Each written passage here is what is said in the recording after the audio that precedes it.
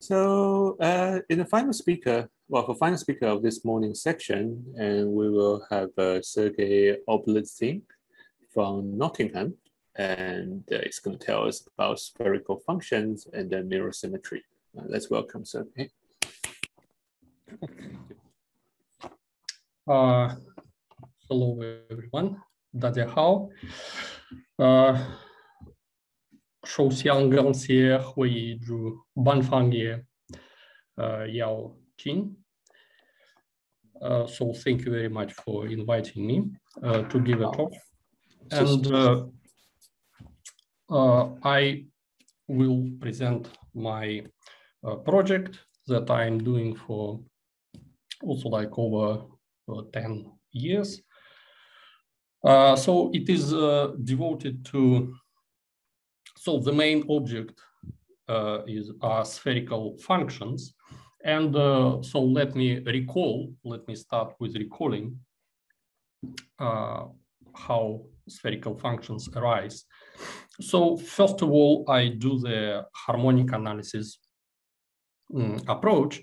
So it's uh, suppose we have a locally compact Hausdorff space with a positive measure and uh, so that some locally compact group acts transitively on this set, preserving the measure.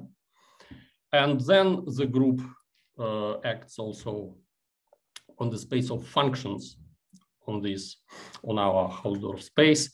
And uh, so mm, in my talk, I will uh, focus on special case when uh, the our space X is a homogeneous space of our group. So it is a space of cosets of our locally compact group with respect to some closed subgroup. So examples of uh, such sets, they are quite uh, diverse. So it can be finite sets, uh, then we are dealing with the symmetric group and its subgroups. Uh, it can be also a graph if we are speaking uh, of uh, groups of finite fields. it can be a sphere, and dimensional sphere. So then we have um, case of uh, our group G is compact. And uh, the case that I will focus mainly in today's talk is the case of uh, non-compact lo uh, locally compact Hausdorff space when the group uh, is non-compact. So for example, it is upper half plane, and uh, then it is a real group, um, and we have a homogeneous space of a non-compact real group. Then uh, suppose d of x is algebra of G-invariant differential operators on our homogeneous space. Uh, well, G-invariant means that our we consider operators that are uh, invariant uh, with respect to natural action of our group G on the cosets with respect to K. Then a spherical function uh, is by definition, uh, first of all, it is a function on our homogeneous space, which is common eigenfunction with respect to all um, G-invariant differential operators on our space. And uh, the problem of harmonic analysis is to, uh, for arbitrary function on our space X, uh, decompose it, so express in as a combination of spherical functions. So this is um, harmonic analysis approach to spherical functions.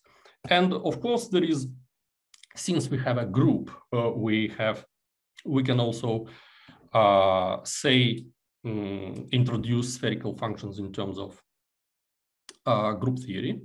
So uh, here, um, let me note first that if we have a compact group, which will be K, uh, in the case of compact group, we know that the its regular representation decomposes into direct sum of endomorphism algebras of all the irreducible representations of K.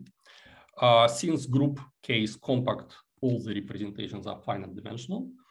And the um, orthogonal basis in our uh, regular representation is given by the what is called matrix coefficients.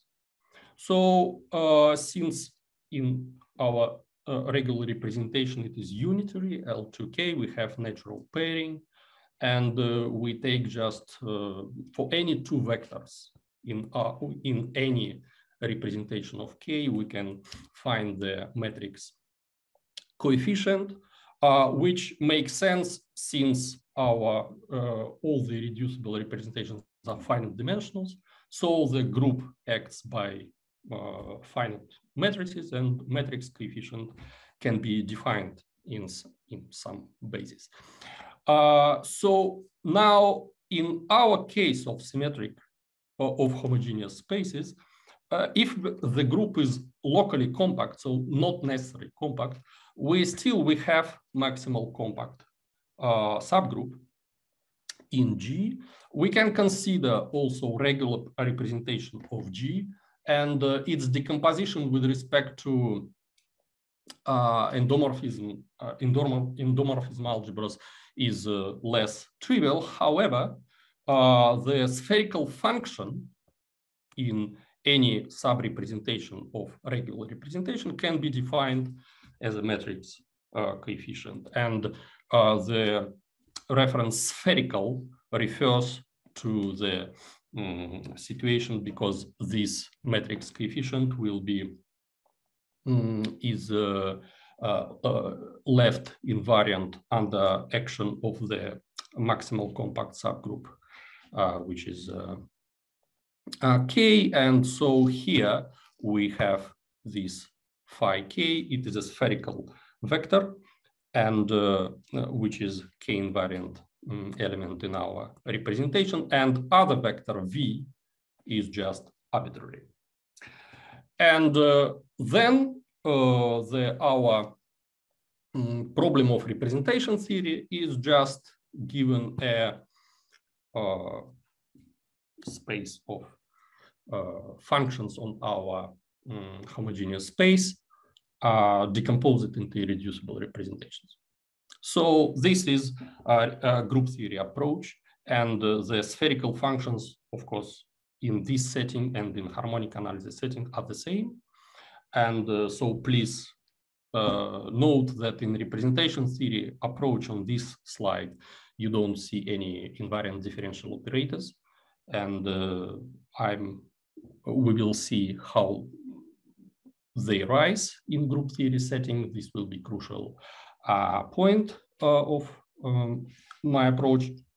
So now uh, let me comment on the general idea, the main idea of the project. So we are just uh, studying harmonic analysis and representation theory of locally compact groups. So we study spherical functions. Then uh, uh, in this theory, in, in, my, in this talk, I'm going to explain how in this theory, geometry of this space and quantum integrability enters the theory, come into the theory.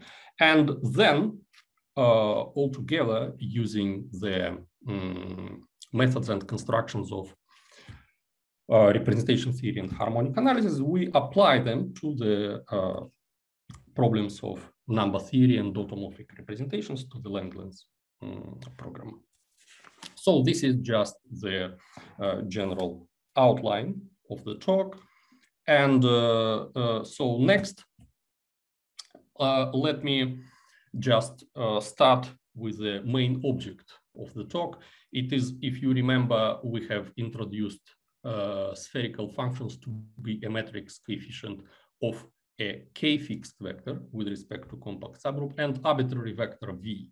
So uh, here we choose, we make a special choice of our um, vector v. So it is a character of the unipotent subgroup. So more precisely, uh, suppose we have a group over uh, either reals or p-adic fields, but you can think of a real group uh, at the moment. Uh, then we have Iwasawa decomposition of the group, uh, which actually says that any um, element of a group can be decomposed as a product of uh, element. If you think of G as a group of transformation of vector space, so it's orthogonal transformation, then it's uh, A is uh, like dilations of the space, it's diagonal uh, matrix, and U is um, transvection, so unipotent matrix. Then uh, we take the subgroup, which is B, which is called Borel subgroup. And uh, for the group of invertible matrices, for GLN, this will be a subgroup of um, upper triangular matrices. And uh, we take a character of this subgroup and consider the induced representation. So we induce uh, one-dimensional representation of subgroup B, which is complement to our K uh, in G, and introduce spherical Whittaker function in this as a matrix uh, coefficient in this re induced representation. So, uh, namely, we take the matrix coefficient of a k-fixed vector by definition of spherical uh, function, and the other vector is Whittaker vector, which is just a character of the unipotent subgroup in the Iwasawa um, decomposition. So this is um, definition of spherical Whittaker function. So uh, again, this is the main object of my um, talk, uh, which is provided by special choice of the um, vector v in definition of spherical vector. That's why it's called Whittaker function.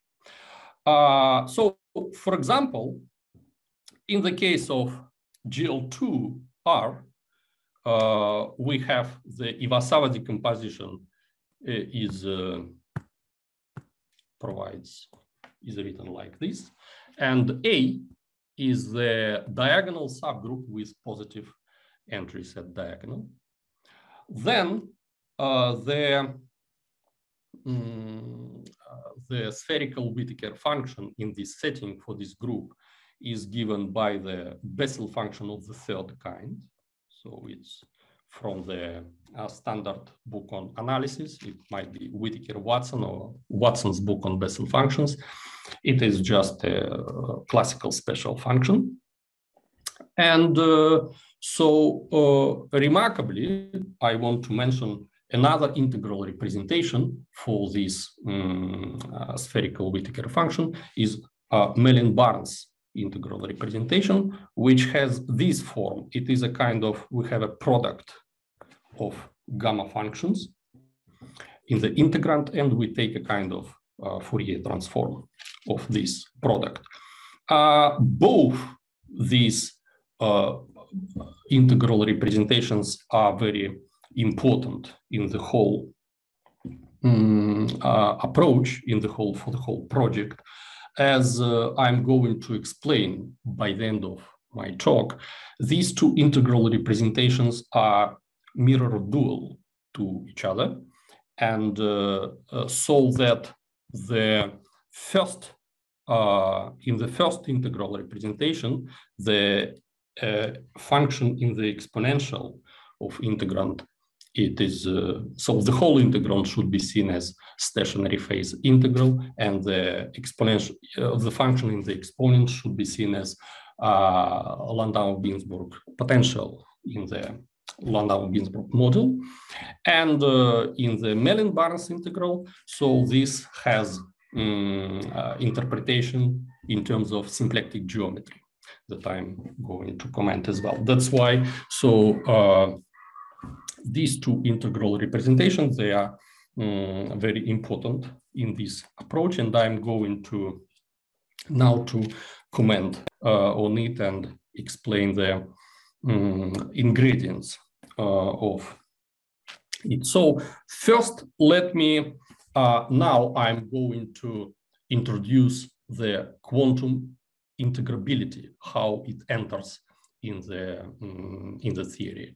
So first of all, I want to remind you that in the very first slide, when we introduced spherical function uh, as a common eigenfunction of uh, uh, invariant differential operators. So in group theory approach, how these differential op uh, operators arise.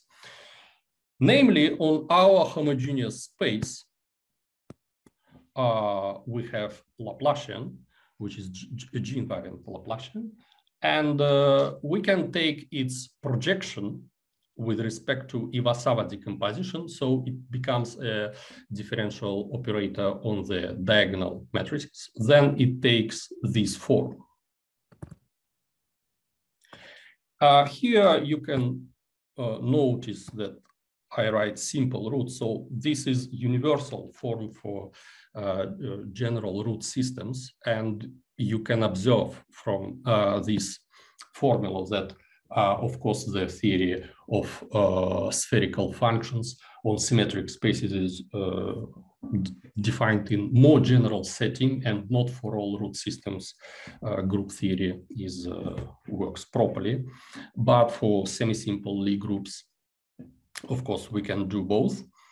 Uh, then, the, in terms of representation theory, what we can say is that uh, given our group G, which we can think as GLN over R, uh, we introduce its Lie algebra and its universal enveloping algebra UG. Then the elements of the center of the universal enveloping algebra uh, will act by scalars in any irreducible representation. And therefore, under the action of these central elements when we um, insert them in matrix element definition of our uh, spherical Whittaker function, uh, this will just by construction mean that our spherical Whittaker function is eigenfunction with respect to uh, all the central elements acting uh, in our representation in this way. So the um, eigenvalues are just symmetric uh, functions in uh, mm, these lambdas, which are parameters of uh, our representation. And in the bottom of the slide, you can see the um, example, what are these um, differential operators look like in the case of GL2. So uh, in my previous slide, so these functions, uh, these two functions, their eigenfunctions with respect to these um, the two differential operators, and obviously this uh, pair of differential operators can be equivalently rewritten in a form of Bessel equation from again from the analysis textbook. Uh, also, uh, another remark is that uh, you can uh, I want to say that both these integral representations are generalized to GLN and to other classical groups. And uh, this is just um, also uh, is done using the um, quantum integrable systems. So from the point of view in terms of mathematical physics, this commuting family of differential operators acting in our uh, spherical Whittaker functions, they are called like uh, quantum integrable system. So they call this H as commuting Hamiltonians, and that, that explains why I use H here. And uh, so, and also it's called quantum Toda D module. And uh, here word quantum means that momenta of the system uh, momenta operators act by differential operators so that uh, here, so this is a kinetic term, so it's second act by second order differential operators. That's why it's like quantum in this sense. Uh, right, so now uh, I want to, you may, uh, one may ask, mm, okay, uh, these differential operators, it is good, but uh, when we have, I mentioned uh, spherical functions on finite sets, on uh, spaces over finite fields or p-adic fields, how uh, shall we introduce what will be these differential operators? So in this case, representation theory gives us answer it is the um, Hecke algebra construction. And the, so this is the Hecke algebra of k biinvariant functions uh, on the on our group G.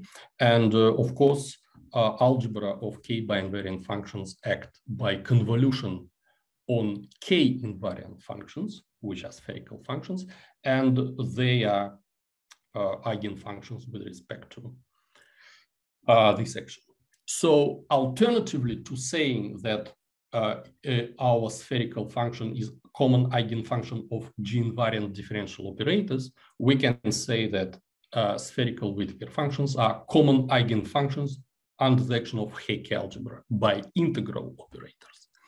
And uh, this is um, gives um, two ways to look at uh, uh, spherical functions. And uh, here uh, I want to introduce um, the very special generating function, uh, one parameter family depending on parameter S of k biinvariant functions such that the eigenvalue of our spherical Whittaker function gives um, uh, actually uh, L function of the uh, described into the dual group. And uh, it will be as you see in the bottom. So in the case of real group, it is um, given by the product of gamma functions. And uh, uh, in the case of real group. And this, of course, should be seen here that uh, in the Mellin-Barnes integral representation, uh, integrand contains exactly this L function. And in this sense, um, it is uh, dual, uh, dual integral uh, representation. So next, I go to the second part, which gives us um, advantage. We push forward these uh, methods from um, uh, quantum integrable systems, and we consider quantum uh, Q-deformed spherical functions. Namely, we uh, consider the uh, function which are restricted on a lattice. So here Z are just complex numbers and uh, lambda is a partition. Mm, so it's just, uh, we restrict our function on a lattice. Uh, we uh, substitute the differential operators by Q difference operators the eigenvalues still remain to be elementary symmetric functions in this variable z. So for GL2, the difference operators will be these where t lambda are just uh, mm, uh, shifting lambda i's by one. Uh, also, uh, this uh, quantum integrable system uh, theory tells us how to make Q deformation of Baxter operator. And we have constructed it as well. And the eigenvalue is given uh, by such a function.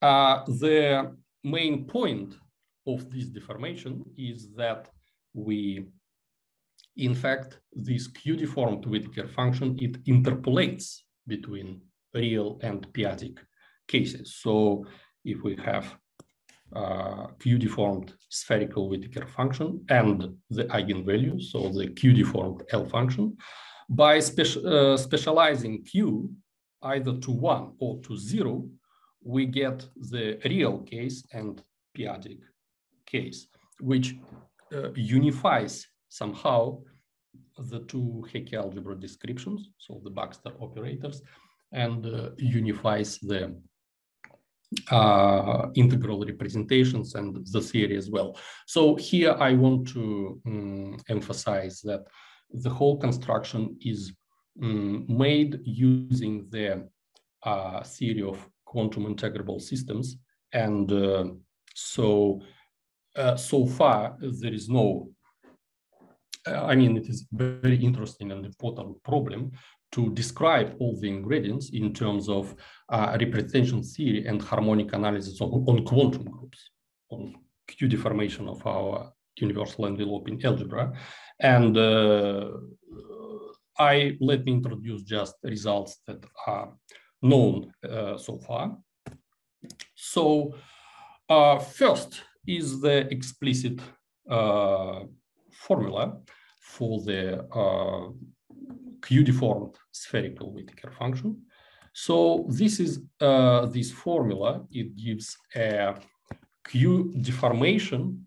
Uh, so here in this formula, the summation goes over Gelfand-Tsetlin patterns, which is just the triangular array of positive integers p and k subjected to the uh, inequalities. So like this. So we have a collection of a triangular array of positive integers subjected to uh, inequalities. And we uh, sum in this formula, we make summation over all uh, the um, P and K, which are marked in uh, black, and uh, the Pn, 1 Pn, 2 Pn, uh, marked in red, they are uh, arguments. They enter here of, the, of our function. Then, uh, so this, mm, if we set here q equals zero, uh, this formula will give us a classical character formula, Gelfand-Tsetlin formula for character of um, finite dimensional representation of uh, GLNC of a complex group, just a standard polynomial representation of GLNC. And uh, it is natural to think that, guess, natural to guess that this Q-deformed formula is also a character of something. And this is true. Uh, it is proven that the resulting formula is a character of some finite dimensional representation of uh, of quantum affine algebra GLN hat. And uh, this can be seen as a Q-Langlands uh, local correspondence because it says that actually Q-deformed spherical function, if we see it, think of it as a some matrix coefficient on a quantum group, spherical on quantum group, so it equals to character on quantum affine group. So the matrix coefficient on one object in representation of quantum group is a character of some other object, which is quantum affine algebra. This what uh, usually happens in the uh, Langlands into Langlands correspondence. And uh, this indeed, if we take the non-Archimedean limit, if we specify q to zero, then the above formula will reproduce us the Langlands Shintani formula for p-adic uh, spherical Whittaker function. So the Langlands Shintani formula says that the p-adic Whittaker function equals to character of a complex group. So here, look, uh, please pay attention that the base fields are, are changed, but for GLN, the dual group is again GLN. But if you take orthogonal group or symplectic group, on the right-hand side, you will get character of the dual group. And uh, the extension to other groups is, called, is known as Casselman-Shalika formula. So this is just the, uh, uh, in Archimedean limit, this uh, we reproduce indeed the non-Archimedean local Langlands correspondence in this sense. And uh, now question what we get if we take limit q to one in the above formula. So what if we take, of course, this limit is more tricky. Uh, however, you can do it. And uh, the answer is that uh, q to one Archimedean limit, it gives the um, uh, Givental's integral formula for the uh, spherical Whittaker function for real group. So it has the shape of uh, exponential of some function. So it's like stationary phase integral. And this, this, is, this function f is called the Landau-Ginzburg potential. And uh, remarkably also in this limit, the Gelfand-Zeitlin patterns of uh, some positive integers subjected to inequalities, it reproduces the Gelfand-Zeitlin graph. So it gives a continuous version of this, that pattern. And uh, the, in our function f, you see it is a, we have summation over exponentials over all the arrows in our graph. And the exponentials also positive functions. So in this limit, positive integers p and k entering the uh, Gelfand-Zeitlin patterns uh, produce, re reproduce the positive exponentials. Right, so now finally I want to finish with the mirror symmetry perspective, namely give, as I promised, in the Mellin-Barnes type integral representations, uh, explain the geometric meaning uh, in terms of uh, counting of some geometric objects. So this is uh, gives the uh, geometric uh, interpretation. So for simplicity, let us consider the um, Q-deformed first Whittaker function, which is associated with the partition consisting just one uh, row. Then uh, from our previous formula, it has this form. Uh, the uh, family of commuting Q difference operators just uh, produce this single order n difference equation.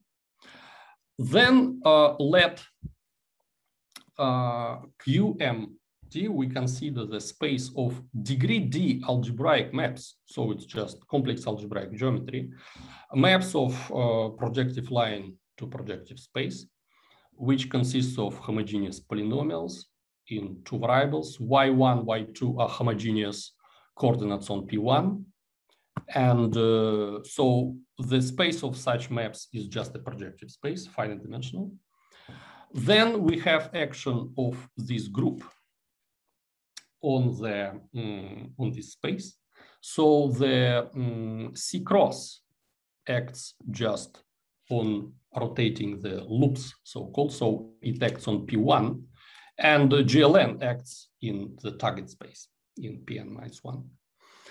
Uh, then it is not hard to interpret our Q-Whittaker function as a um, trace in uh, um, trace in the space of uh, of this group. So C cross uh, times GLN acting in our space of these maps P1 to Pn minus one. But please note we take limit D to infinity. So this means that our Q-Whittaker function describes the uh, maps of degree infinity. So, uh, so of course they are not algebraic anymore, but this is like the answer that we have. And uh, it has, uh, of course, rigorous uh, interpretation in non-algebraic setting. We need to introduce uh, holomorphic maps instead of maps of degree infinity. And uh, again, taking limit now q to one for uh, real uh, spherical Whittaker functions, we get the interpretation of the Whittaker function as a uh, equivariant volume of the of this space. So it's like a limit of a character is given by symplectic volume. And uh, so in if we go down to the example of GL2 or even to GL1, we can uh, formulate the mirror symmetry in very in like in terms of building blocks in terms of two different integral representations of gamma function so one integral representation gives us the stationary phase integral. So it is a exponential function of this, which is uh, standard. And another one is a symplectic volume of some infinite dimensional space. And uh, it is proven that uh, the underlying um, sigma models, type, type A and type B, equivariant sigma models are mirrored to each other.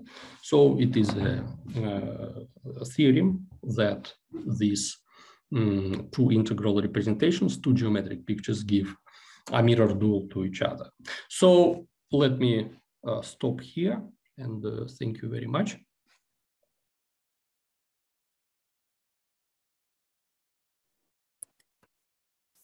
Uh, thanks, Sergey, for this very interesting talk, actually. Uh, any questions for him? Actually, I have one. So part of this, uh, I guess this story also is, is co connecting with this uh, AD Toda chain, right? So is there some similar story for the Heisenberg spin chain or even the like XXQ, XXZ version, uh, Q deform version? Uh, yes, this is actually my uh, uh, my main um, point that uh, this um, there are many ways that this is what I wanted to introduce that uh, this approach allow it, it, can be extended in several directions. So okay. first of all, it should work and uh, it is checked in some special cases for other spherical functions, not only for Whittaker function, but for general spherical function. Second point, it can be extended to, as you say, uh, to mm-hmm. other quantum integrable systems, to other spin chains. And uh, mm -hmm. this uh, this should work uh, as well. And uh, the formula, so for example, like for Calogero systems, or as you say, to magnet models, XXZ, uh, so this uh, this should be uh, sh should be work. Yes, this, this, should work. I see. And the, the last uh, couple slides you're talking about is mirror symmetry. So they indicate some kind of spectral duality for the integrable yes. integrable system. Exactly. Exactly. Exactly. Yes. I see. I see. Yeah, I guess physicists also yeah look something similar uh, on, on this this this actually a friend of mine, like Peter Koroteev, I think he's been working on this for, for some time, connecting this story, the mirror symmetry and the spectral duality. Yeah, I see. Okay, that's fine.